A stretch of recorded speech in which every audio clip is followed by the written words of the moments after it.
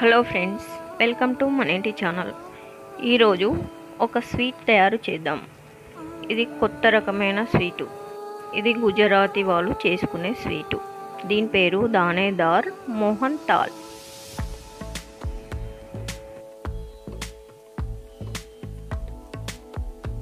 ఇది north Indian వాళ్ళు చాలా ఎక్కువ చేసుకుంటారు. దానికోసం కావాల్సినవి టూ కప్స్.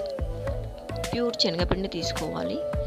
దాంట్లో వన్ టేబుల్ స్పూన్ నెయ్యిని వేసుకొని ఈ విధంగా మిక్స్ చేసుకోవాలి. ఈ నెయ్యి వేయడం వల్ల పిండి కొంచెం రవ్వ రవ్వలాగా ఉంటుంది. అదేవిధంగా ఒక వన్ టేబుల్ స్పూన్ మిల్క్ను కూడా యాడ్ చేసి అంతా మిక్స్ చేసుకున్న తర్వాత మనము పిండిని జల్లించుకోవాలి. ఎందుకంటే ఇది కొంచెం రవ్వ వేయడం వల్ల నెయ్యి వేయడం వల్ల రవ్వ రవ్వలాగా తయారైంది కాబట్టి స్మూత్గా రావాలంటే జల్లించుకోవాలి. లేదంటే మిక్సీలో కూడా వేసుకోవచ్చు. ఈ పిండినంతా ఈ విధంగా రెడీ చేసుకున్న తర్వాత హాఫ్ కప్ నెయ్యిని తీసుకోవాలి. స్టవ్ ఆన్ చేసి సిమ్లో ఉంచి ఒక పాత్ర పెట్టి దాంట్లో నెయ్యిని వేసి మనం ఇందాక జల్లించుకున్న పిండిని ఈ నెయ్యిలో ఫ్రై చేసుకోవాలి. ఇలా నెయ్యిలో వేయడం వల్ల పిండి కొంచెం లూజ్గా ఉంటుంది. దీంట్లో ఏమాత్రం వాటర్ వేయలేదు. కొంచెం మిల్క్ని యాడ్ చేసాం అప్పుడు కలిపేటప్పుడు కాబట్టి ఇలా లూజ్గా ఉంటుంది. ఇలా ఫ్రై చేయడం వల్ల పిండి పచ్చిత పచ్చివాసన అంతా పోయి మంచి స్మెల్ వస్తుంది. ఇలా ఫైవ్ మినిట్స్ తర్వాత పిండి బాగా ఉడికి పైన నురుగ నురుగలాగా వస్తుంది. కలర్ కూడా చేంజ్ అవుతూ ఉంటుంది.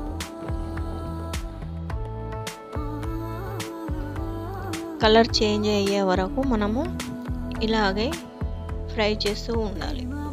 చూసుకుంటూ ఉండాలి. కలర్ చేంజ్ అయ్యిందా లేదా? ఇలా చేంజ్ అవుతూ ఉంటుందన్నమాట. స్మెల్ కూడా మంచి వాసన వస్తుంది. తర్వాత ఒక వన్ టేబుల్ స్పూన్ మిల్క్ని తీసుకొని కొంచెం కొంచెంగా ఉడుకుతున్న పిండిలో మిల్క్ను కలుపుతూ ఉండాలి. మిల్క్ వేయడం వల్ల దీంట్లో ఉన్న నీరంతా ఆవిరైపోయి పిండి గట్టిపడడం స్టార్ట్ అవుతుంది. మైసూర్ పాక్లో మనం నెయ్యి వేస్తే ఏ విధంగా పైన బబుల్స్ వస్తాయో మిల్క్ వేయడం వల్ల కూడా ఈ పిండిలో అదే విధంగా బబుల్స్ వస్తాయి. ఈ విధంగా. కొంచెం పిండి గట్టి పడుతూ ఉంటుంది కదా? ఇంకొంచెం పాలు యాడ్ చేసుకోవాలి. ఇలా కలపడం వల్ల కింద అడగంటకుండా ఉంటుంది పిండి మాడకుండా ఉంటుంది. అందుకనే మనము కలుపుతూ ఉండాలి. ఇంకొంచెం మిల్క్ను యాడ్ చేసుకోవాలి. ఇలా మిల్క్ను వేసిన తర్వాత ఒక్కసారి మొత్తం కలిపేసుకుంటే పిండి ఈ విధంగా గట్టిపడుతుంది. స్వీట్లో మనము షుగర్ సిరప్ వేయడానికి వన్ కప్ షుగర్ని తీసుకోవాలి. స్వీట్ ఎక్కువగా తినే వాళ్ళైతే ఇంకొంచెం ఎక్కువ యాడ్ చేసుకోవచ్చు. చక్కెర మునిగే అంత వాటర్ని వేసుకోవాలి. ఒక పాత్రలో షుగర్ వేసి స్టవ్ పైన పెట్టి చక్కెర మునిగే అంత వాటర్ వేసుకొని ఇలా సిరప్ తయారు అయ్యేంత వరకు ఉడికించుకోవాలి. అంతలోపు ఒక పాత్ర తీసుకొని దాంట్లో నెయ్యిని అప్లై చేయాలి. ఈ సిరప్ తీగ పాకం వచ్చేంత వరకు ఉంచుకోవాలి. ఈ సిరప్లోనే మనము యాలకుల పొడిని కూడా యాడ్ చేసి ఇందాక మనము పక్కకు తీసి పెట్టుకున్న పిండిలో ఈ షు షుగర్ సిరప్ని మిక్స్ చేయాలి మొత్తం. మళ్ళీ కొంచెం స్టవ్ మీద పెట్టి సిమ్లో ఉంచి ఒక ఫైవ్ మినిట్స్ ఇలా ఉడికించుకోవాలి. షుగర్ సిరప్ వేసిన తర్వాత.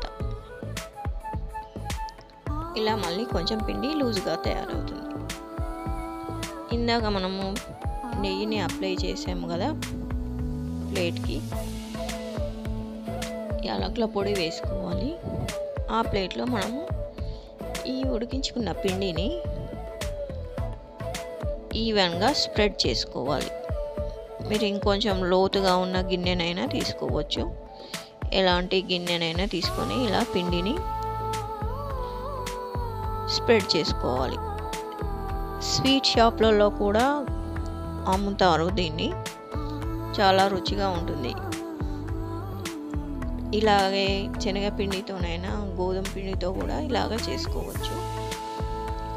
అలాగే మనం డ్రై ఫ్రూట్స్ని అన్ని సన్నగా తరుక్కునేవి దీనిపైన వేసుకోవాలి. బాదాము కాజు పిస్తాలు మీ దగ్గర ఏ డ్రై ఫ్రూట్స్ ఉంటే అవి వేసుకోవచ్చు. ఇవి పుచ్చకాయ సీడ్స్ కూడా మేము వేస్తున్నాము. ఇలా అన్నీ వేసుకున్న తర్వాత కట్ చేసుకోవాలి. పీసెస్ లాగా కట్ చేసుకోవాలి. కట్ చేసిన తర్వాతనే ఫ్రిడ్జ్లో పెట్టుకోవాలి. ఎందుకంటే ముందుగా ఫ్రిడ్జ్లో పెడితే ఇది చాలా గట్టి పడుతుంది. కట్ చేయడానికి కొంచెం ఈజీగా ఉండదు. అందుకనే ముందుగా కట్ చేసుకొని పీసెస్ లాగా చేసిన తర్వాత ఫ్రిడ్జ్లో ఉంచుకోవచ్చు. కొంచెం గట్టి పడుతుంది. ఇలా మనకు ఎంత సైజులో పీసెస్ రావాలంటే అంత కట్ చేసుకోవాలి. ఈ విధంగా మనకు పీసెస్ రెడీ అవుతాయి. ఎవరైనా వచ్చినప్పుడు మనకు స్వీట్ చేయాలన్నా ఏవైనా స్పెషల్ అకేషన్స్ ఉన్నప్పుడు కూడా ఇలా స్వీట్ మనము ఇంట్లోనే ఈజీగా రెడీ చేసుకోవచ్చు. ఇది తినడానికి చాలా టేస్ట్గా ఉంటుంది. స్వీట్ షాపుల్లో ఉండేలాగా ఉంటుంది. అలాగే ఈ స్వీట్ నచ్చినైతే మా ఛానల్ని చూసి లైక్ చేయండి షేర్ చేయండి సబ్స్క్రైబ్ చేసుకోండి.